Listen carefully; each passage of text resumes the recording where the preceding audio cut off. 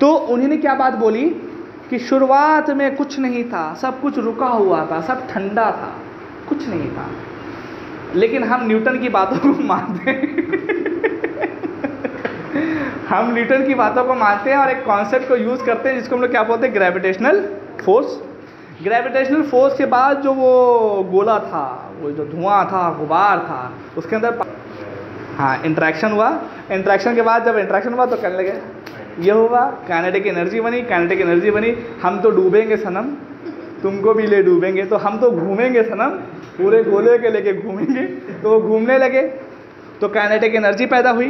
Kinetic energy पैदा हुई तो घूर्ण गति हो गई। घूर्ण गति हुई तो दो तरह के फोर्स सेंट्रीफ्यूगल सेंट्रीपिटल आज से स्टार्ट कर रहे हैं जियोमॉर्फोलॉजी हाँ? जियोमॉर्फोलॉजी मतलब भू आकृति विज्ञान। भू का मतलब ज़मीन। ज़मीन है गोल। हाँ? नहीं है। गुड ज़मीन गोल नहीं है, ज्वाइड है। तो जो भू की आकृति है, वो गोल नहीं है, ज्वाइड है। और भू है क्या? कहेंगे ज़मीन है। भू एक प्लेनेट है, ग्रह है। हाँ? और ग्रह कहाँ होता?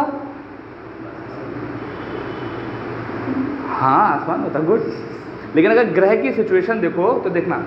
देखो, एक क्रोनोलॉजी है। हम लोग कहाँ पे हैं? मीमांसा में।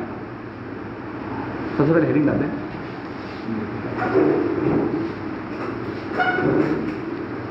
जियोमॉर्फोलॉजी हम लोग अभी कहाँ पे? मीमांसा में। मीमांसा कहाँ है? अब वजीरगंज में बताने लगा। क्या वजीरगंज में? मीमांसा कहाँ है? लखनऊ में। लखनऊ कहाँ है? यूपी में। और यूपी कहाँ है? इंडिया में। इंडिया कहाँ है? एशिया में है। एशिया कहाँ है? अर्थ पे हाँ। एशिया कहाँ है? अर्थ पे। और अर्थ क्या है? एक प्लैनेट है। अर्थ एक प्लैनेट है। तो अर्थ है कहाँ पे? कई प्लैनेट के साथ मिलकर बना है। तो वो कहाँ पे? सोलर सिस्टम में।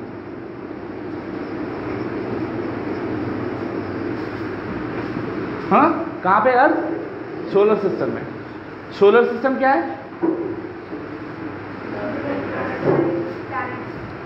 अभी बताऊँगा सब एक्सप्लेन और सोलर सिस्टम, ये सोलर सिस्टम वन है जिसका हम लोग पार्ट हैं। और ये सोलर सिस्टम हमारे पाए जाते हैं कहाँ पर? गैलेक्सी में। जिसको हम लोग क्या बोलते हैं? मिल्की वे, आकाश गंगा, भारत और इंडिया, उसकी अपनी गैलेक्सी का नाम है। और बहुत सारी गैलेक्सी से मिलके क्या बनता है आपका? यूनिवर्स तो आमिर खान की मूवी पीके याद है? तो सा गोलू है, इतना सा गोला है। तो ध्यान देखना। आप लोग कहाँ हो? मीमांसा में? मीमांसा कहाँ है? लखनऊ में। लखनऊ कहाँ है? यूपी में। यूपी कहाँ है? इंडिया में। इंडिया कहाँ है? एशिया में।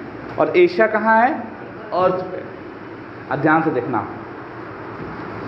जो आपका स्पेस है हाँ? इसमें तो बहुत सारी चीज़ें तो सर क्लासिफिकेशन कैसे किया गया? बहुत ध्यान से देखना कि अगर मान लो ये स्पेस है सपोज़ है, मान लो ये स्पेस है तो इसमें असंख्य चीज़ें हैं। क्या चीज़ें? असंख्य अनकाउंटेबल चीज़ें इनफाइनाइट चीज़ें। अब काउंट नहीं कर सकते। अब इस पूरे यूनिवर्स में कुछ ग्रुप बने हुए हैं। छोटे छोटे से कुछ ग्रुप बने हुए हैं, जिनको आइडेंटिफाई किया गया है। जैसे मान लो कुछ ग्रुप बने हुए हैं।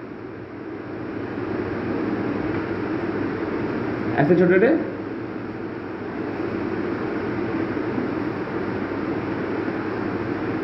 बहुत ध्यान से देखना। हाँ? सिर्फ़ बना दिया, लेकिन अनलिमिटेड इनफाइनाइट नंबर ऑफ़ इस तरह के ग्रुप हैं। और ये है हमारा क्या? यूनिवर्स मतलब पूरा आसमान आसमान सब इसी में। इसमें जो, उसके बाद जो सबसे इंपॉर्टेंट चीज़ है, वो क्या ये ग्रुप है? और इस एक ग्रुप को हम क्या बोलते हैं? गैलेक्सी क्या बोलते हैं? गैलेक्सी अभी गैलेक्सी क्या होती है? ध्यान रखना कि कई गैलेक्सी को मिलाकर या इनफाइनाइट नंबर ऑफ़ गैलेक्सी को मिलाकर आपका यूनिवर्स बना है। अभी अगर आप गूगल पे जाकर सर्च करोगे तो अप्रॉक्सीमेटली इक्यावन तरीके की गैलेक्सी पाई जा रही है। इक्यावन तरीके की गैलेक्सी को आइडेंटिफाई किया गया है। आप उसकी इमेजेस भी जाके दे सकते हो। अब ये जो एक गैलेक्सी होती है, इस गैलेक्सी में बहुत सारी चीज़ होंगे। जैसे गैलेक्सी में क्या क्या चीज़, जैसे क्या गैलेक्सी है? तो इस गैलेक्सी में क्या होगा?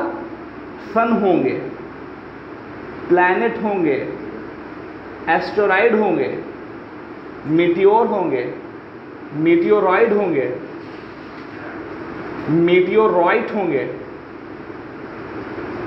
एंड एक्सेट्रा ये सब क्या होंगे हम बताएँगे आपको। कहने का मतलब ये है कि जो पूरा यूनिवर्स है, वो बहुत सारी गैलेक्सीज से मिलके बना हुआ है। और एक गैलेक्सी में क्या क्या होता है? सन होता है प्लैनेट होता है एस्ट्रोराइड होता है मीटियोर होता है मीटियोराइट होता है मीटियोराइड होता है और भी बहुत सारी चीज़ें होती हैं। और इन सारी चीज़ों को एक नाम देते हैं सेलिस्टियल बॉडी सेलिस्टियल बॉडी जिसको हिंदी में बोलते हैं खगोलीय पिंड। हम्म? क्या बोलते हैं? खगोलीय पिंड। बहुत ध्यान से फिर बोल रहा हूँ कि एक पूरा जो हमारा यूनिवर्स है, उसमें बहुत सारी असंख्य नंबर की आपकी गैलेक्सी हैं, जिसमें से लगभग इक्यावन तरह की गैलेक्सी को आइडेंटिफाई भी किया गया। अगर आप गूगल पे जाओगे और सर्च करोगे तो वहाँ पर उसकी इमेजेस आपको दिखाई देंगी। ठीक है? और इन्हीं बहुत सारी गैलेक्सीज में से एक गैलेक्सी है, जिसका नाम हमने क्या दिया है? मालवती वाली गैलेक्सी है। इसका नाम हमने दिया है आकाश इंग्लिश में बोलते हैं मिल्की वे हिंदी में बोलते हैं आकाश गंगा। इन्हीं बहुत सारी गैलेक्सीज में से एक गैलेक्सी जिसका नाम हमने क्या दिया मिल्की वे आकाश गंगा। अब जो ये आकाश गंगा है, एक गैलेक्सी उठा लो। हाँ ये गैलेक्सी है। अब इसमें बहुत, मैंने क्या बताया था, बहुत सारे क्या क्या होंगे? बहुत सारे सन होंगे। सन ना बोल के इसको बोल दो स्टार बहुत सारे स्टार होंगे। अब स्टार क्या है? इसके बारे में आगे चीज़ें चलेंगी। अभी बस ये एज्यूम करिए कि स्टार होंगे बहुत। और स्टार एक सेलेस्टियल बॉडी है मतलब आसमान में पाए जाने वाली कई बॉडी में से एक बॉडी आपकी स्टार भी। क्या होता है कैसे फॉर्मेशन होता है आगे के नेक्स्ट क्लासेस में सब चीज़ें आएँगी। ध्यान रखना। तो ये जो गैलेक्सी इसमें क्या क्या होगा? स्टार होगा। स्टार नहीं होगा स्टार्स होंगे। हाँ? स्टार्स के अलावा और क्या होंगे? प्लैनेट जिसको हम लोग ग्रह बोलते हैं। और भी अदर अदर बॉडीज होंगी। हम्म? तो जो हमारी एक गैलेक्सी थी, जिसका नाम हमने मिल्की वे रखा, उसके अंतर्गत बहुत सारे स्टार्स पाए जा रहे हैं, बहुत सारे प्लैनेट्स पाए जा रहे हैं, और बहुत सारे बॉडीज पाई जाती हैं। आ जाओ जाओ जाओ ठीक है? ये चीज़ यहाँ पे अब इन्हीं कई स्टार्स में से एक स्टार है। इन कई स्टार्स में से एक स्टार है, जिसको हम लोग क्या बोलते हैं? सन जो हमारी आकाश गंगा है, इसमें कई सारे स्टार पाए जा रहे हैं और उन्हीं स्टार्स में से एक स्टार है जिसको हम लोग क्या बोलते हैं? सन स्टार का मतलब तो समझ रहे हो तारा होता है जो। हम्म? और इन्हीं कई प्लैनेट्स में से कुछ इंपॉर्टेंट प्लैनेट हैं जो हमारे सिस्टम के लिए इंपॉर्टेंट है। तो ये जो अर्थ सन है, अब सन जो है, इसके चारों तरफ़ इस तरीके से शेप में। सन सेंटर पॉइंट पे, एक स्टार हमने निकाला, इसको सन बोलते हैं। और बहुत सारे प्लैनेट में से हर एक सन के चारों तरफ़ कुछ ना कुछ प्लैनेट रिवॉल्व देखो, एक रिलेशन होता। है एक होता है सन, स्टार, और एक होता है प्लानट जो स्टार होता है, वो सेंट्रल पॉइंट है, और जो प्लैनेट होते हैं, वो उसके चारों तरफ़ चक्कर लगाया करते हैं। ये रूल है। उसके बाद एक होता है सैटेलाइट सैटेलाइट सिर्फ़ हम लोग आर्टिफिशियल नहीं होती। सैटेलाइट का मतलब है वो चीज़ जो कि अर्थ का चक्कर लगा रही हो, या किसी प्लानट का चक्कर लगाती हो। ध्यान से देखना। कि तीन कॉन्सेप्ट हैं। एक है स्टार एक है प्लैनेट और एक है सैटेलाइट सैटेलाइट देखो स्टार जो होता है, उसका चक्कर कौन लगाता? प्लैनेट जैसे मान लीजिए स्टार है, कोई भी स्टार होगा, अब इसका चक्कर कौन लगा रहा होगा? प्लैनेट लगा रहे हैं। कोई भी मूवमेंट हो सकता है, ऐसे ऐसे कोई मूवमेंट अब ये जो प्लैनेट स्टार का चक्कर कौन लगा रहा है? प्लैनेट और जो सैटेलाइट होती है वो इस प्लैनेट का चक्कर लगा रही होती है। तो मान लीजिए कि ये प्लैनेट है, ये भी अपने हुए तो इसके चारों तरफ़ कोई घूम रहा होगा। तो आपका क्या होता है? सैटेलाइट सैटेलाइट दो तरह के होते हैं, एक होता है नेचुरल सैटेलाइट और एक होता है आर्टिफिशियल सैटेलाइट जैसे अब हमारा देखो, अगर हमारा अपना सैारा देखोगे तो उसमें क्या है? हमारा सन एक स्टार है। सन के चारों तरफ़ आठ प्लानट चक्कर लगा रहे हैं ये तो पता ही होगा बेसिक चीज़। और उसमें से एक हमारा अर्थ भी है तो अर्थ के चारों तरफ़ जो चीज़ चक्कर लगा रही होती है, उसको हम लोग क्या बोलते हैं? सैटेलाइट और वो क्या है? मून है हमारा। तो मून हमारा एक सैटेलाइट है, लेकिन कैसा सैटेलाइट है? Natural satellite is that clear इसी तरीके से बहुत सारे सैटेलाइट जो तैयार होते नहीं हम लोग बेचते हैं जियो स्टेशनरी ऑर्बिट में जियो सिंक्रोनस ये साइंस एंड टेक्नोलॉजी का प्रोसेस है। वो आर्टिफिशियल सैटेलाइट है। हमारा नेचुरल सैटेलाइट कौन सा है? मून तो कहने का मतलब ये है कि पूरे यूनिवर्स में से हमारी एक गैलेक्सी है। जिसको हमने निकाला, जिसका नाम हमने मिल्की वेव दिया और इस मिल्की वेव में बहुत सारे स्टार्स पाए जाते हैं, बहुत सारे प्लैनेट पाए जाते हैं और बहुत सारी इसी तरह की बॉडीज़ पाई जाती हैं। हमने उसी स्टार्स में से एक स्टार को निकाला, जिसका नाम हमने क्या दिया? सन हमारा सूरज।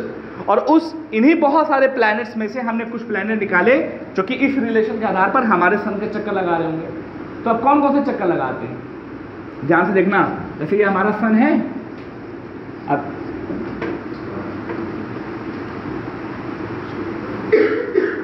ठीक तो माई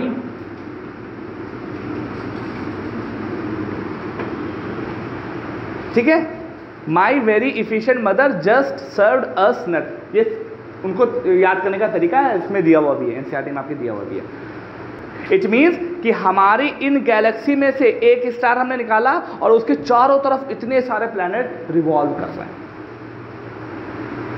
तो अब देखो, अब उल्टा चलो। ये प्लैनेट किसका पार्ट है? सन का। सन का पार्ट है। और ये सन किसका पार्ट है? हमारी मिल्की वेव का।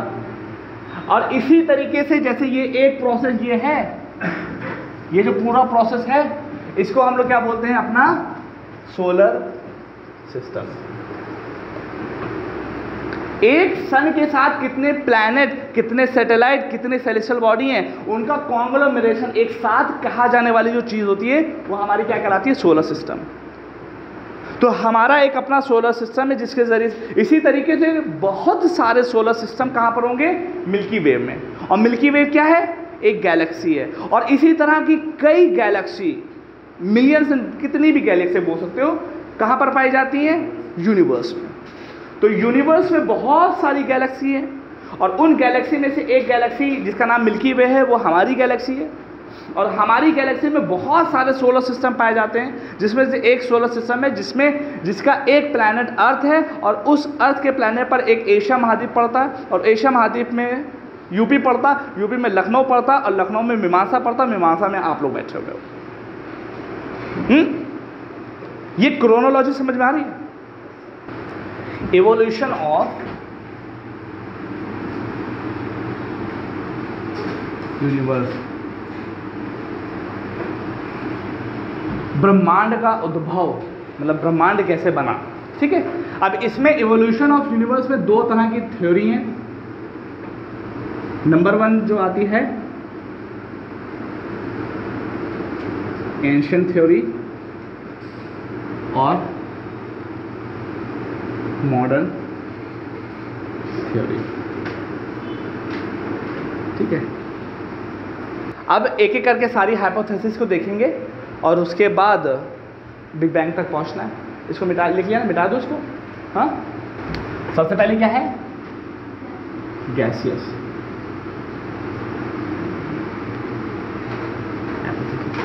ध्यान रखना इसको किसने प्रिपाउंड किया है? इमैनुअल कैंट ये साहब है। और इन्हीं ने किसकी मदद ली? न्यूटन की। न्यूटन्स के कॉन्सेप्ट की मदद ली। और न्यूटन का कॉन्सेप्ट कौन सा? ग्रेविटेशनल फोर्स की। और ध्यान रखना, किस चीज़ की कोशिश कर रहे हैं? ब्रह्मांड कैसे बना, उसको प्रूव करने की कोशिश कर रहे हैं।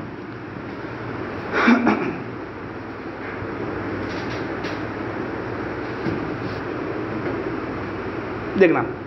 देखो, अब देखो कॉन्सेप्ट बेस है। इन्हीं ने क्या बोला? कहने लगे कि ऐसा है कि ब्रह्मांड कैसे बना? बहुत पहले, सबसे पहले प्रीमोडियल एरिया में, हमेशा से सबसे पहले, हुआ क्या है? कि एक क्लाउड है। क्लाउड है।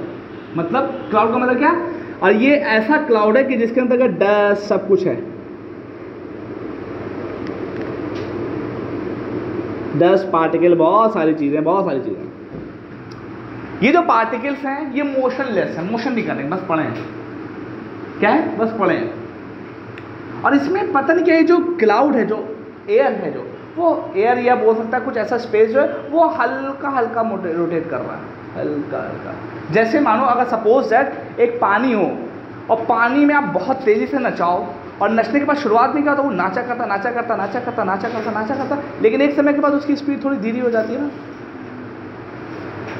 हाँ? और अगर उसके अंदर कोई चीज़ पड़ी हो तो वो नहीं नाचती, बस खाली वो हल्का सा नाच रहा है भाई यही सोचो। कि वो क्लाउड सिर्फ़ नाच है, बाकी इसके अंदर के जो पार्टिकल हैं, वो सब रुके हुए हैं, शांत है। अब देखो क्या है? अंदर जो पार्टिकल हैं, ये रुके हुए शांत है।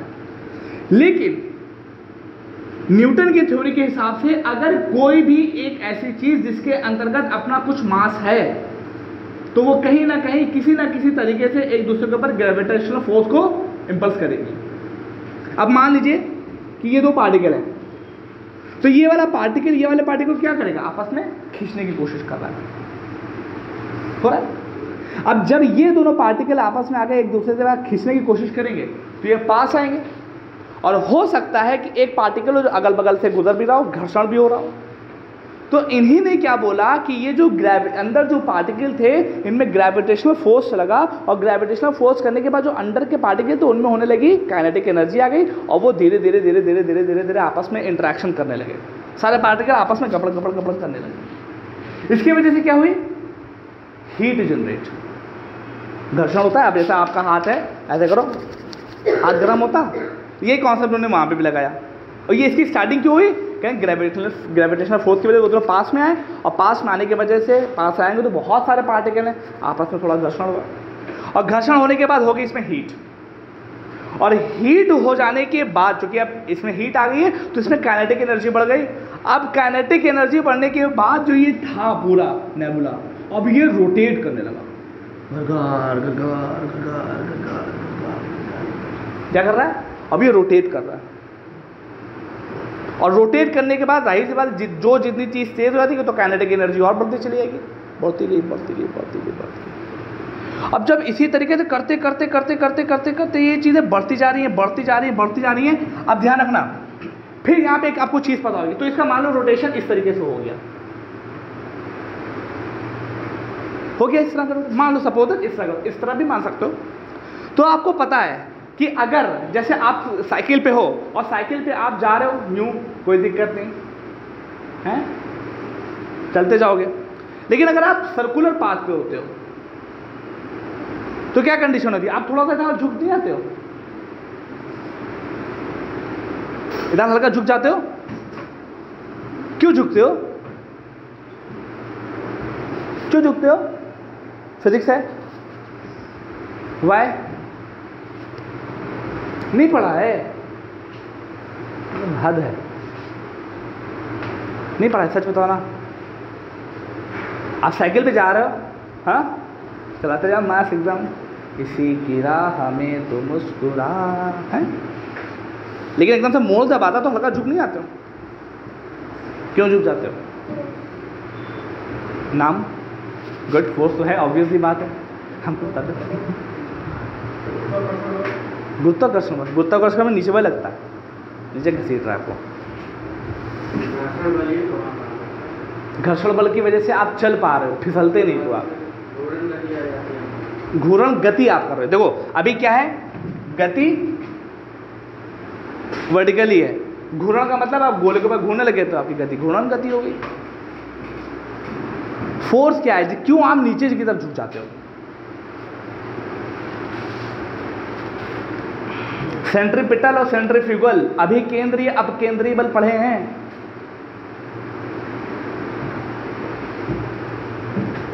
देखो, जब कभी भी किसी भी चीज़ का मोशन एक सर्कुलर पाथ पे होता है तो उसके ऊपर दो फोर्स लगने लगते हैं। एक फोर्स इसको बाहर की तरफ़ खींचने की कोशिश करता है, जिसको हम लोग क्या बोलते हैं? अप केंद्र बल। अप केंद्रीय बल, जिसको हम लोग बोलते हैं हिंदी में सेंट्री फ्यूगल फोर्स और एक फोर्स लगता है अंदर की तरफ़। किसको क्या बोलते हैं? सेंट्री पिटल या अभिकेंद्रीय बल। और जब दोनों ये एग्जिस्टेंस में होते हैं तो तो बात ठीक है, लेकिन इन दोनों में बैलेंस खराब हुआ भड़ाम से गिर पड़ोगे। तो ये भी रोटेटिंग बॉडी है। इस पर भी यही कॉन्सेप्ट लग रहा होगा। ऑब्वियस सी बात है रोटेट कर रही है ना? तो होता क्या है कि इसके ऊपर जब सेंट्रीपिटल और सेंट्रीफ्यूगल फोर्स लग रहे थे, लेकिन इसकी जो वेलोसिटी है वो उतनी तेज़ हो गई, चूँकि हीट बढ़ती ही जा रही है। हीट बढ़ने के बाद क्या कंडीशन हुई कि इसके ऊपर एक ऐसे फोर्स लग रहा होगा सेंट्रीफ्यूगल और एक ऐसे फोर्स लग रहा होगा सेंट्रीपिटल तो होता क्या है कि जब कभी भी सेंट्रीफ्यूगल फोर्स इंक्रीज हो जाता है सेंट्रीपिटल फोर्स से तो इसके अंदर की कुछ चीज़ें निकल के इसके चारों तरफ़ घूमने लगती मतलब एक अलग से सर्किल बनाने लगती तो अब ये नेबुला की तरह स्ट्रक्चर नहीं रहेगा, बल्कि हल्का सा क्या कंडीशन आ गई कि ये जो ये स्क्वीज होगा और चारों तरफ़ इसके, जैसे इसको मैं मिटा दूँ। भैया फिजिक्स का बहुत यूज़ है। ठीक है तो अब इसका जो मोमेंट होगा वो कुछ इस तरीके से होगा। बीच में अभी भी थोड़ा ये छोटा हो गया है ये बीच के अंदर पोर्शन छोटा हो गया है और इसके चारों तरफ़ एक ऐसे से एक सर्कुलर मोशन हो गया ये क्यों हो रहा है? सेंट्रीफ्यूगल फोर्स ज़्यादा हो गया है। यही सेम प्रोसेस और आगे रहेगा। फिर ये और छोटा हो जाएगा और इसी तरीके से कंसेंट्रिक चीज़ें ऐसे क्रिएट होती जाएँगी। मेन पॉइंट आ गया और ये करते करते करते करते करते करते करते कंडीशन क्या हो गई? कि जो बीच वाला प्रोसेस था, ये बहुत छोटा सा हो गया। और फिर इसके चारों तरफ़ ऐसी कंसेंट्रिक लेयर बनती चली गई। और ध्यान रखिएगा, क्या चीज़ें बाहर आई थी? कुछ पार्टिकल दस पार्टिकल जिसमें अपना मास रहा होगा। वो जो पार्टिकल है, पहले ऐसे थे, अजीब से वे में मोशन कर रहे थे, फिर अजीब से वे में मोशन कर रहे थे। जब इनमें एनर्जी ज़्यादा हो गई तो ये जो अजीब से हर जगह पार्टिकल मूवमेंट कर रहे तो उनमें क्या हुआ, एक प्रोसेस हो गया कि वो इकट्ठा हो गया एक जगह पर। एक तरह के प्रॉपर्टी को इंश्योर कर लिया और यहाँ पर हर एक लेयर में अपने अपने तरीके से प्लैनेट स्टैब्लिश हो गए और जो बीच वाला पोर्शन था, इसको इन्हीं ने क्या बोल दिया? सन और ये जो वाला पोर्शन है, इसको क्या बोल दिया? प्लैनेट ये नॉर्मल सी बेसिक इन्होंने हाइपोथेसिस दी थी, किस फोर्स पे? न्यूटन लॉ पे। सेंट्रीपिटल फोर्स सेंट्रीफ्यूगल फोर्स की वजह से दी थी। हाँ बेटा। आप आप अंदर बैठ जाओ, आप अंदर बैठ जाओ। फ़ैन खोले ना अंदर बैठ जाओ। इज़ दैट क्लियर हाँ आप किसी को कोई क्वेश्चन हो तो पूछ सकता है।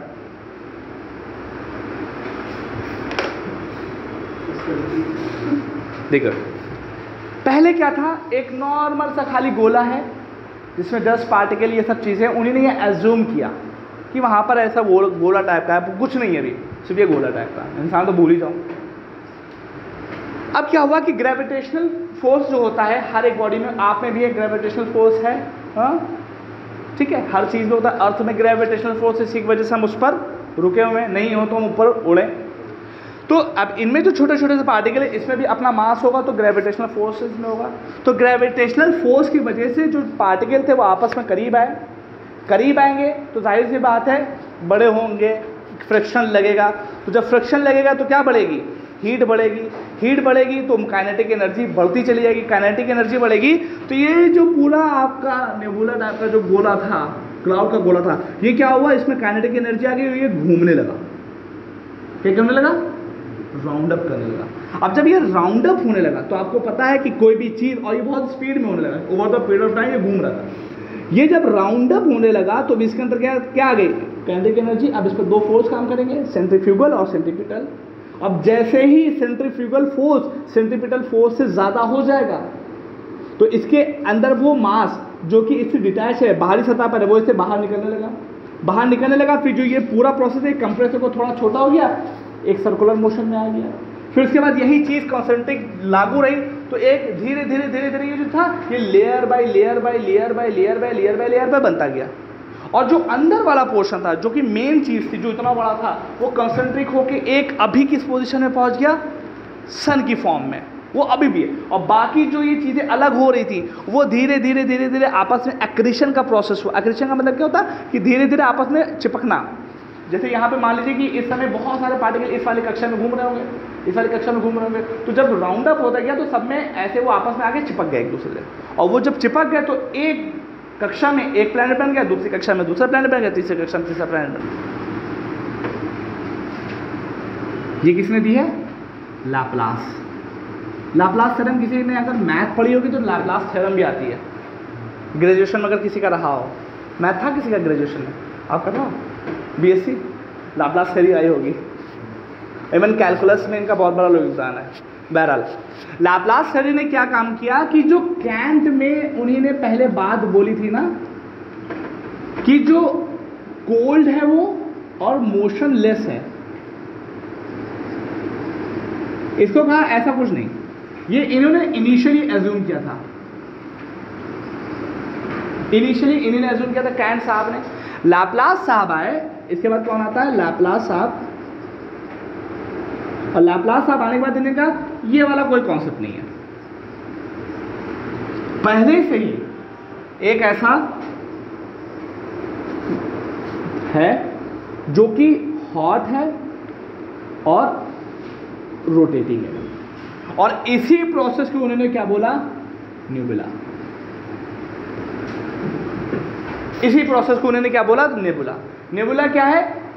लैपलास के हिसाब से एक ऐसा क्लाउड का एक ऐसा ग्रुप है, एक क्लाउड है जो कि बहुत गर्म है और जो रोटेटिंग मोशन कर रहा है। ये उन्होंने पहले मान लिया। उससे पहले उन्होंने क्या माना था कि था कोल्ड था मोशनलेस था। ये उन्होंने मान लिया कि हॉट है और वो रोटेटिंग है।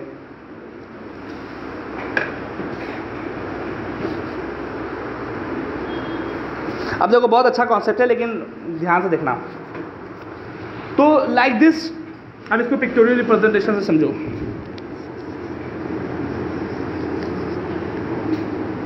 हम्म अभी इन्हें मान लिया। ये क्या है?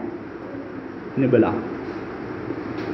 निबला, ध्यान रखना, ये अभी भी आगे भी हम लोग भी बैंक के बाद जब स्टार फॉर्मेशन पढ़ेंगे, तब इसको देखेंगे। ये निबुला है।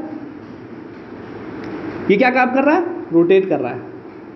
रोटेटिंग है और प्लस क्या है? हॉट हॉट रोटेटिंग है।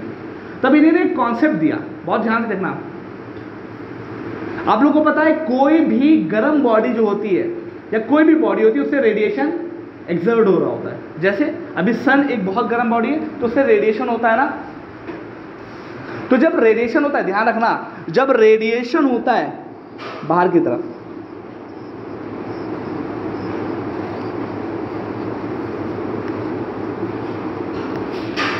तो जब किसी भी रेडिएटिंग बॉडी से रेडिएशन होता है तो अल्टीमेटली रिज़ल्ट में क्या आता है कि उसका साइज़ क्या होता है? कंप्रेस हो जाता है।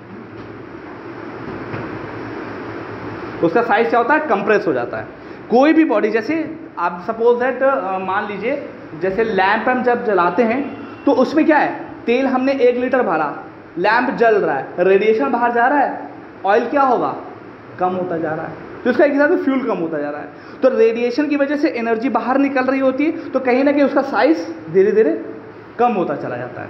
और जब कम होता है तो रेडिएशन के साथ बहुत ध्यान से देखिएगा, जब ये रेडिएशन हो रहा था इस वाली बॉडी में हॉट है और रोटेटिंग है तो उसमें रेडिएशन हो रहा है। तो ये बताया जा रहा था कि जो रेडिएशन हो रहा था तो जो इसके सरफेस पर, जो नेबुला के सरफेस पर जो पार्टिकल दस पार्टिकल थे, ये आपस में एक किसी पर्टिकुलर रिंग के ऊपर ऐसे ऐसे रोटेट करने लगे। और अब क्या बचा? ये साइकिल बन गई। अब नेबुला का साइज़ क्या हो गया? छोटा हो गया। कहने का मतलब क्या है? रेडिएशन हुआ। साइज़ उसका छोटा हो गया। ये अंदर वाला है नेबुला छोटा साइज़ हो गया लेकिन इसके जो सरफेस पर, पहले सरफेस पर जो छोटे छोटे से पार्टिकल थे, वो एक क्या हुआ? कंसेंट्रिक रिंग में हो गया।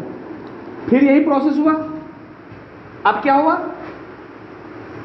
एक ये बड़ा वाला, एक उससे बड़ा वाला है। अब नेबुला का साइज़ और छोटा हो गया। रेडिएशन हो रहा है। सेम प्रोसेस करते करते करते करते कंडीशन क्या है? कि नेबुला का साइज़ इतना हो गया। और ये ऐसे चीज़ें, ऐसे चलती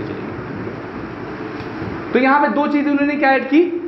पहली चीज़ क्या ऐड की कि पहले से ही जो नेबुला था वो बहुत गर्म था और रोटेटिंग था, और दूसरी चीज़ ऐड क्या की? रेडिएशन और रेडिएशन के ऊपर उन्होंने क्या कॉन्सेप्ट लगाया कि जब रेडिएशन होता है तो जो उसके सरफेस पर जो छोटे छोटे से चीज़ होती हैं, वो चारों तरफ़ ऐसे ऐसे अलग हो जाती और नेबुला का साइज़ कंप्रेस हो गया। अब नेबुला में रेडिएशन तो कम नहीं रेडिएशन कम होता गया तो उसका साइज़ छोटा गया, और छोटा हो गया, और छोटा हो गया। और जो बाद में जो उसके सरफेस पर जो चीज़ थी, वो एक कंसेंट्रिक रिंग में सर्कुलेशन मूवमेंट में करती रही और वही आखिरी में क्या कन्वर्ट हो गई? प्लैनेट तो यहाँ पर कोई चीज़, ऐसे कुछ पार्टिकल यहाँ पर भी होंगे। Over the period of time ये इकट्ठा हो गया, किसी एक पार्टिकल में कन्वर्ट हो गया। फिर जो दूसरी वाली लेयर बनी, इसमें बहुत सारे छोटे छोटे से होंगे। कुछ समय के बाद वो भी इकट्ठा हो गया, ऐसे बन गए। दो प्लानट बन गए इसी तरीके से तीन प्लानट बन गए, इसी तरीके से चार प्लानट बन गए इसी तरीके से पाँच प्लानट बन गए। और इन्हीं ने बोला कि ऐसी करती करती, करते करते करते नौ रिंग्स बनी। क्या बनी? नौ रिंग्स और नौ रिंग्स बनी, जैसे उन्होंने बोला नौ रिंग्स बनी, लोगों ने घसीट लिया, ये बताओ नौ ही क्यों बनी? और इसका कोई जवाब वो नहीं दे पाए। बात समझ में आ रही है? ये क्या है? एजम्पन पहले उन्होंने क्या बना? कोल्ड अब क्या मान रहे हैं? ठंडा है। मान लिया। मान लेना तो प्रूवन नहीं था। तो ये थी लाप्लासा की। एक एक वर्ड और भी यूज़ हो रहा है, ध्यान रखना इसी इसी थ्योरी में कि ये जो मैंने बताया ना कि जो पहली लेयर बाहर निकली होगी तो उसमें बहुत छोटे छोटे से पार्टिकल होंगे। तो बहुत छोटे छोटे से पार्टिकल जब किसी एक जगह पर एग्रीगेट हो गए, जहाँ पर मिल गए, उसको हमने क्या बोला? नॉट क्या बोलता है? नॉट के एन ओ टी बस इतना ध्यान ठीक? अगर बाइनरी वर्ड कहीं पर लग जाए तो आप समझ लिए दो डिजिट की बात ज़रूर हो रही है। जैसे हम लोग बाइनरी कंप्यूटर में क्या पढ़ते हैं? ज़ीरो और वन इसी तरीके से ये जो हाइपोथेसिस है, इसमें दो की बात हो रही है। अब वो दो की बात क्या होती है? इसमें दो साइंटिस्ट हैं, बड़ा अजीब सा नाम यार। टीसी कैम्बरलिन इसमें दो साइंटिस्ट हैं। टीसी ये दो साइंटिस्ट हैं, जिन्होंने इस हाइपोथेसिस को दिया है। इन लोगों ने बोला कि ऐसा है, जो कुछ हुआ, वो हुआ। अब हम जो बताने जा रहे हैं, वो सुनो। तो इन्होंने कहा कि जो यूनिवर्स का जो ओरिजिनेशन हुआ उसके लिए दो बॉडी होना ज़रूरी है। दो हेवनली बॉडी होना ज़रूरी है।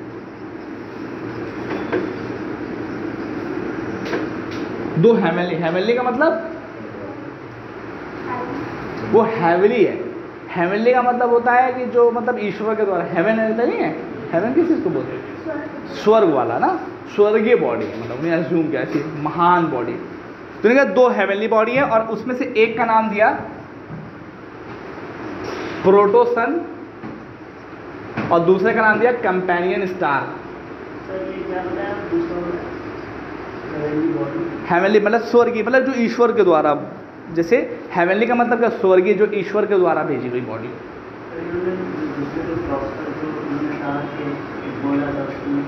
हाँ। हाँ हाँ। हाँ।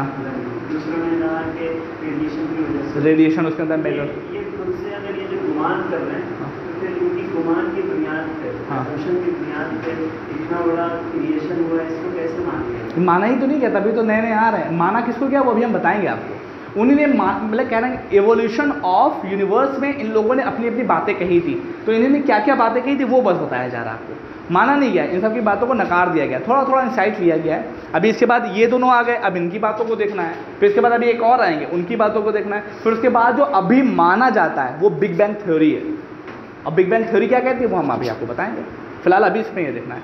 तो इन्होंने क्या बोला कि दो हेवनली बॉडी हैं, एक का नाम है प्रोटोसन और एक का नाम है कंपेनियन स्टार और कंपेनियन स्टार का कभी कभी इंट्रूडिंग स्टार भी बोलाता है इसको. इंट्रूडिंग स्टार बोला अब इसका फिगर बड़ा प्यारा सा देखना. इसमें इन्होंने बोला कि दो सन होंगे तो इन्होंने कहा एक आपका है सन. हाँ? जिसको हमने क्या बोला? प्रोटोस्टार ठीक है? प्रोटोस्टार है. जो दूसरा वाला है कंपेनियन स्टार तो एक चीज़ ये होती है कि अगर आपके स्पेस में कोई भी दो हेवनली बड़ी बड़ी बॉडी हैं तो दोनों बॉडी एक दूसरे के ऊपर क्या करती हैं? ग्रेविटेशनल फोर्स लगाती हैं। जैसा कि अभी क्या होता कि सन अर्थ के ऊपर लगाता और अर्थ मून के ऊपर लगाती है ये तीनों आपस में लगाते और इसकी वजह से देखने को क्या मिलता हमें? टाइड ज्वार भाटा देखने को मिलता। इट मीन्स कि इन्हीं ने जो एज्यूम किया तो इन्हीं ने ये माना कि ये दोनों भी चीज़ें आपस में एक दूसरे के ऊपर फोर्स लगा रही थी। तो फोर्स लगाने की वजह से इन्हीं ने ये ये सब एज्यूम कर रहे हैं। इन्हीं ने माना कि ये जो सन है, जिसको हम लोग प्रोटो सन बोल रहे हैं, ये ऐसे रहा होगा। और ये दूसरा वाला है, ये कंपेनियन स्टार का एक ऐसा पाथ बना है। और वो ऐसे जाके कहीं चला गया। तो यहाँ पे क्या है?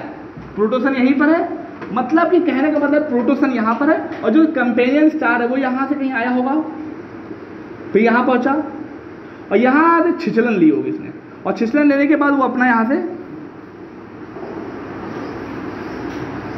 ये चला गया। लेकिन जब ये जा रहा था, मान लो अब इसको मैं मिटा देता हूँ मतलब इसका मोमेंट कुछ इस तरीके, जब ये यहाँ से जा रहा था, अब सपोज़ वो यहाँ पर पहुँच गया, इस पाथ पर। हम्म?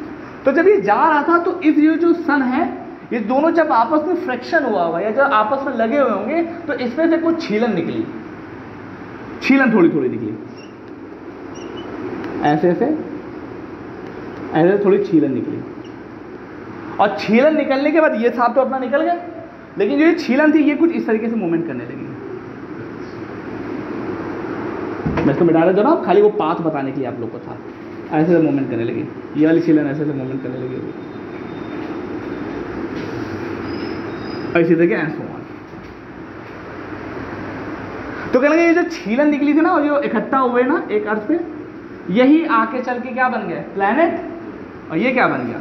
सन और अगर एक चीज़ और देखो, अगर आप इसको मिलाने की कोशिश करो, ऐसे बहुत सारे प्लैनेट नौ प्लैनेट होंगे। तो कुछ अगर इस शेप को मिलाने की कोशिश करो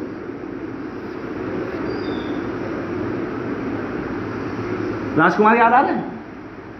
मेरा पाइप राजकुमार का पाइप कैसा था? राजकुमार का पाइप बन रहा ना? तो इस वजह से इसको कुछ सिगार टाइप शेप भी बोला जाता है। सिगार टाइप शेप भी। तो इन्हीं ने बस ये दोनों हाथ से सीधे दी वो बोल बोले ही नहीं। किसी ने पूछा कहीं आज हमारा व्रत है। हाँ बेटा, बोले। देखो इन्हीं ने क्या बोला कि एक, दो चीज़ें हैं, दो हेवनली बॉडी इंपॉर्टेंट बॉडी है। एक को नाम उन्होंने दिया प्रोटोसन, और दूसरे वाले क्या नाम दिया? कंपेनियन स्टार या इंट्रूडिंग स्टार ये वाला स्टार है। हुआ क्या कि दोनों में ज़ाहिर बात है, ये भी एक बॉडी ये भी एक बॉडी है तो दोनों में अट्रैक्शन लग रहा होगा। मान लो सपोज़ है, पहले ये यहाँ पर थे, चूँकि इन्हें भी माना ही है। तो ये क्या होगा एक पाथ से होगी यहाँ से यहाँ से यहाँ से यहाँ से यहाँ से चली गई। होगी तो जब ये इसके प्रोटोसन के करीब से निकल रही होगी तो प्रोटोसन के करीब से निकलने के बाद ये निकली होगी तो इससे कुछ छीलन निकली होगी या सन से। और छीलन निकली इससे भी और उससे दोनों से मिलकर छीलन निकली होगी, और छीलन मिलके इकट्ठा हो गई किसी जगह पर। और इकट्ठा हो गई ये इसी के चारों तरफ़ राउंड अप गति करने लगी। ये किसमें कन्वर्ट हो गया? प्लानट में। और जब ये वापस जा रहे थे तो इसका शेप देखो, ऐसे है। सिगार टाइप शेप बन गया। तो इसी को सिगार हाइपोथेसिस भी कभी कभी बोला जाता है। और ये किसकी थी?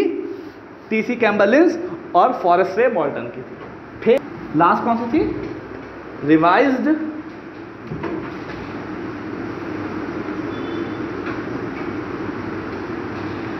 न्यूक्लियर हाइपोथेसिस ठीक है।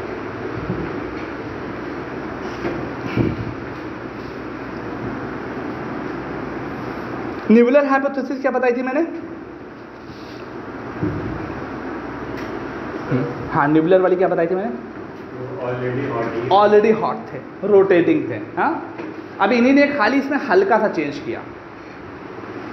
तो इन्हीं ने क्या कहा कि ध्यान रखिएगा हमने क्या बताया था? ये जो पूरा ये था ये पूरा न्यूबुलर था। हाँ? इसमें जो रिवाइज न्यूबुलर वाली सब कुछ यही है। लेकिन इसमें इन्होंने एक चीज़ ऐड कर दी कि जो नेबुला था, जो हॉट वाला पॉइंट था, वो बीच में था, और बाकी ये सारी चीज़ें चारों तरफ़ थी। उसमें क्या बोले थे नेबुलर में? टोटल हॉट था, पूरे तरीके से। लेकिन इन्होंने बोला कि ये वाला जो बीच वाला जो पोर्शन है, ये कुछ ज़्यादा ही उत्तेजित है अब क्या हो रहा है? चूँकि रोटेटिंग मूवमेंट है तो रोटेटिंग मूवमेंट में क्या बोला कि इसी के अंतर्गत जो छोटे छोटे पार्टिकल है हाइड्रोजन हीलियम हीलियम हुआ कि इन्होंने कन्वर्जन किया। कुछ पार्टिकल इसमें मिले होंगे और एक डिस्क टाइप शेप बनाया है। डिस्क टाइप शेप बनाया ध्यान से देखिएगा, कैसा शेप डिस्क टाइप अभी जो पार्टिकल घूम रहे हैं, कुछ पार्टिकल में आपस में सामंजस्य हुआ होगा अट्रैक्शन हुआ होगा, और इन्होंने एक डिस्क टाइप शेप बना लिया। तो कुछ पार्टिकल यहाँ पर होंगे, यहाँ पर होंगे, यहाँ पर होंगे, यहाँ पर होंगे, शुरुआत फ़ेज़ में। और धीरे धीरे ये घूमते घूमते घूमते घूमते घूमते के एक नया कॉन्सेप्ट आया, जिसको उन्होंने बोला एक्रीशन ध्यान रखना एक्रीशन वर्ड यूज़ करना। एक्रीशन का मतलब क्या होता है? कि सपोज़ दैट अगर एक पार्टिकल है, और सेम पॉइंट ऑफ़ टाइम के पास कई सारे पार्टिकल आके इसमें ऐड होते जा रहे हैं। और इस पार्टिकल को थोड़ा बड़ा कर दें। तो ये प्रोसेस एक ही टाइम पर कई सारे पार्टिकल आकर जब उसमें ऐड हो जाते हैं तो उसको हम लोग क्या बोल रहे थे? अक्रीशन यहाँ पर बोल उन्होंने बोला कि अक्रीशन का प्रोसेस हुआ है। डिस्क रोटेटिंग हो रही है, घूम रही है, ऐसे घूमती जा रही, घूमती जा रही, घूमती जा रही, और जो ये पार्टिकल अलग अलग थे, वो आपस में एक जगह पर आकर इकट्ठा हो गए, उसकी वजह से क्या बन गया? प्लैनेट बन गया। और ये जो बीच वाला पोर्शन था, ये बीच में बीच ही में है इसमें क्या बोलते हैं हम लोग? सन यही सन का रूप हो गया, और ये डिस्क फॉर्मेशन के बाद वो किस चीज़ में कन्वर्ट हो गई है? प्लैनेट का रूप और ये जो रिवाइज नेबुलर हाइपोथेसिस है, इनके दो नाम लिख लो ऑटो स्मिथ ओटो इनका नाम लिख लो भैया। पहला है ओटो स्मिथ जो भी बोलना बोल लो। और दूसरा नाम है काल वेजास्कर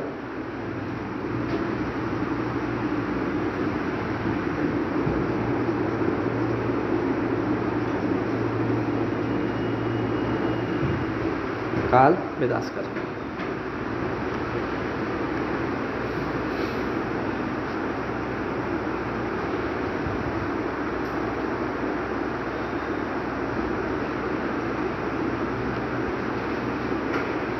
ठीक है, ये है नॉर्मल सी आपकी रिवाइज नेबुलर हाइपोथेसिस किसी को कोई डाउट उसमें पूछ सकता है। बहुत ज़्यादा नहीं है, बस इसमें ध्यान रखना। डिस्क शेप्ड कहाँ पर बना है? रिवाइज नेबुलर हाइपोथेसिस में। इसको दिया किसने? Otto Schmidts and the Carl Weizsacker और इसमें दो चीज़ याद रखना है। डिस्क शेप्ड में एक्रिशन के प्रोसेस के बाद एक्रिशन का मतलब मैंने बता दिया क्या है। एक्रिशन का मतलब एक हिंदी में भी बताया था ना कि एक साथ किसी चीज़ में वृद्धि होना। तो क्या हो रहा है? एक साथ प्लानट उसके अंदर आते हुए, मिलते हुए चले जा रहे हैं। तो एक्रिशन हो रहा है। और उसके बाद हमारा ये यूनिवर्स का प्रोसेस बना है।